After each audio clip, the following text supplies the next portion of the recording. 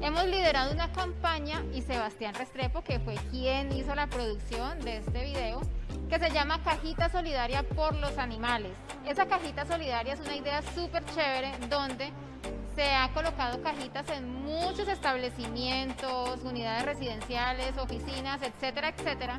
Y en esas cajitas se ha recogido alimento para perros y gatos de ese alimento, pues muchos animalitos han salido beneficiados y alimentados. Así que vamos a ver un pequeño video también de qué se ha tratado eh, las ayudas de las cajitas solidarias. Me encuentro en un lugar donde ya había venido a visitar, pero que hacía días no había podido venir, traerle alimento, ese alimento que ustedes nos donan, que nos hacen llegar en esas cajitas solidarias.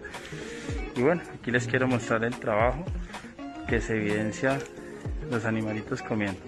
Les acabo de servir les acabo de dar comida, ahí ven. Muchos animalitos comiendo. Como ellos, muchos otros en Cali.